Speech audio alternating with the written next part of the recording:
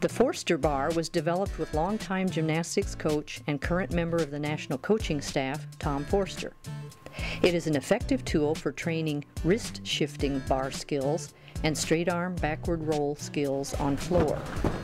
It's a lot harder trying to get up and they have to learn how to shift their wrist because that's one of the challenges is that they're learning how to shift and snap without bending their elbow.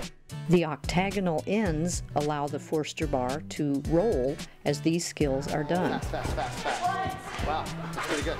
Floor skills, such as a straight arm backward roll to either a handstand or a planche down, can be learned and practiced using the Forster bar. Combining use of the Forster bar with a wedge mat near a wall can be an effective way to learn the backward roll toward a handstand. Yeah, I mean, the Forster bar really became an extension of an idea of a drill that I saw somebody do years ago, which is just uh, a straight arm back roll extension, hollow over, land in a push-up position. So almost most clubs around the country are having their level fives do that, and their sixes and sevens, and it's a great lead up for clear hips and giants. And so I wanted to take it to a different level, and I wanted the girls to start learning how to shift their wrists and snap their wrists. And so I thought, well, I mean, the first thing I did is I tried weights, but one girl hit her head with it, and I thought, okay, I can't do that. and so then I created a uh, floor bar, and the, it was round, bigger round ends, so the wrist would come off the bar, but if they didn't have enough speed, it would just roll out from underneath them. So finally I thought, well, I'm going to make it like an octagon, so at least if, if they can put enough pressure on it, it'll stop them, so that they can show the position going over the top, and learn how, what does it feel like to shift your wrist and keep your elbows straight.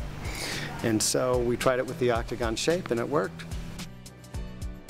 If you have found a floor bar useful to get kids to practice bar skills on the floor before putting them on unevens, you'll find the Forster bar an efficient way to work the wrist shifting needed for skills such as giants and clear hips.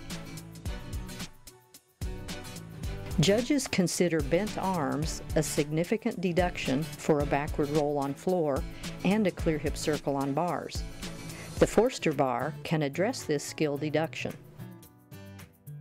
A rubber coating covers the bar, providing a good grip and making it a safer training aid.